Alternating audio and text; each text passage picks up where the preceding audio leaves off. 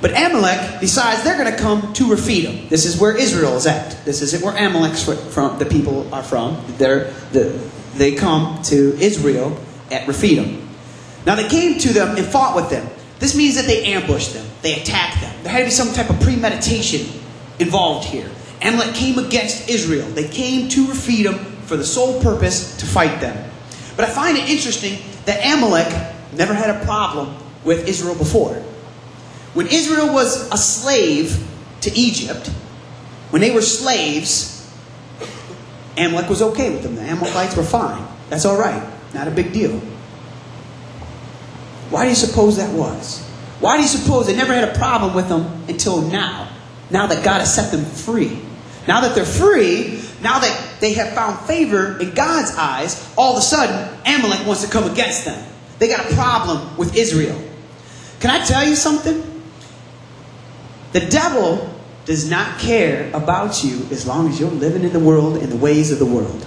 Yeah. He's okay with you doing whatever you want to do as long as you're doing it the way of the world. Hey, if you're drinking and you're smoking and you're doing drugs and you're partying, no big deal. Devil don't really care about you. You're all right because you're a slave right now. You're a slave to the world. You're a slave to fulfilling the sins and the lusts of your flesh.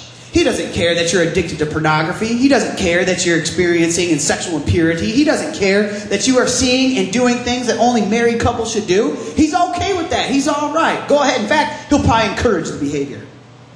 The devil isn't really interested in coming against you when you're doing things of the world. But let me tell you something. The second that you turn your life over to Christ, guess what? The devil's getting a little nervous now.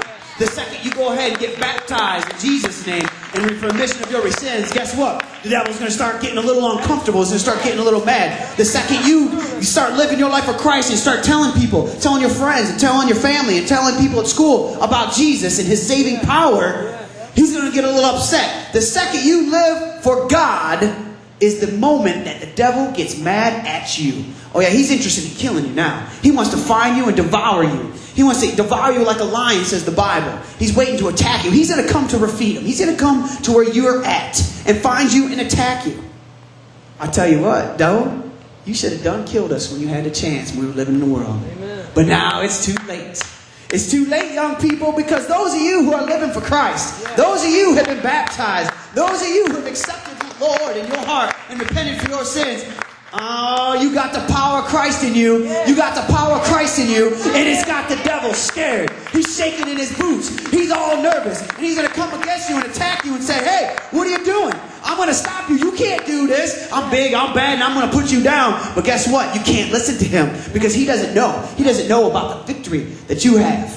He doesn't know about the victory that you have in God.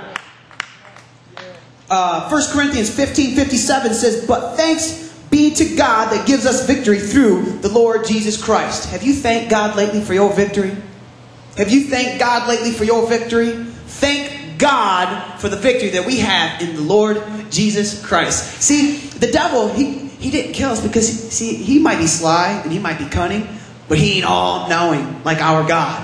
He's not all knowing like our God. Because cuz if he knew if he knew that you were going to find your way into a church one day, if he knew that you were going to accept God one day, and that the power of Christ was going to live in you, I think he would have took you out a long time ago.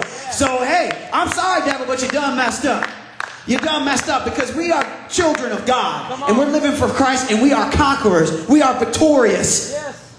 Thanks to God for the victory in Lord Jesus Christ. Hallelujah. Give the hand clap for our victory. You have victory. You have victory, Andrew. You have victory? Yes. That's right. Did you hear that, devil? My boy's got victory. Now here's what we got to do. Act like you just failed the test. And you're feeling, and you're bummed out, man. You're bummed out. All right? Does this look like a man of victory? Does this look, what kind of victory? What kind of testimony is Andrew given walking around bummed out like he lost, hanging his head low? Do we do this as Christians? Walking around with our head hung low, walking around with lack of confidence, walking around like we, we have lost and we have no victory. I'm telling you, as Christians, we got to start lifting our head up high. We got to start walking with our back straight and walking in the confidence of God that we might have a testimony to people. So when they saw us, Like, look at this man. Look at this man of God. He's got something. He's confident. He just went through all these battles. He went through all these attacks. He's just lost people in his family. He's just, oh man. And look at Andrew. Mm-hmm. Andrew got the victory. Andrew's got the victory. Now, here's the first thing Moses didn't say, okay, let's sit here and whine and cry about uh, being attacked, right? That's not what Moses. Moses said, go get some guys and fight. We're being attacked by the devil, but that's okay. We're attacking back. We're attacking back. Are you getting that? I'm saying don't sit there and get attacked and just deal with it. I'm saying get up, go and attack back. This is what this is. This is your weapon, people. This is your weapon. This is your sword. We ought to pray for one another. Right? When your brother and you see or your sister is dealing with something, there's the devil's coming against them and attacking them. Shouldn't you be there praying for them?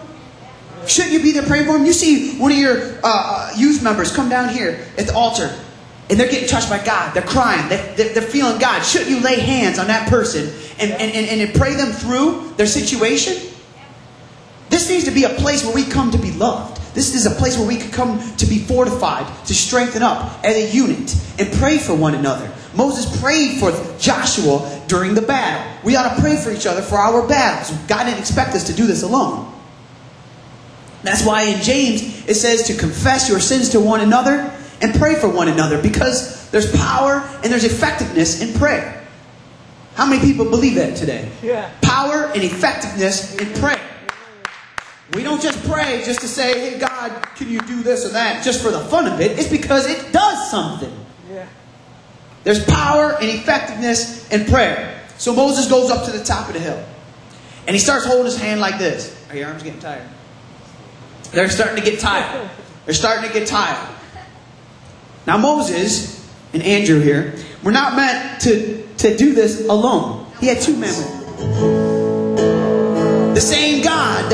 Down the walls of Jericho and brought them victory. The same God that took 300 men in Gideon and took on over 100,000 men. I said, This is the same God today that can deliver you from your enemy, from your situation and your problem. Yes.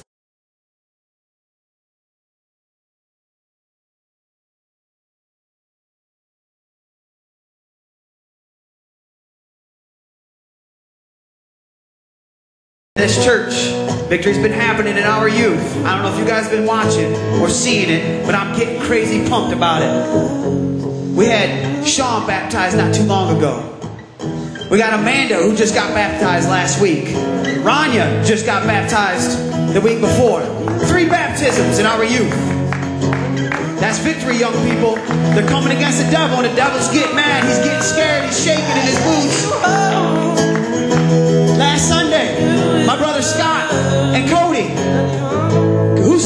Worshiping?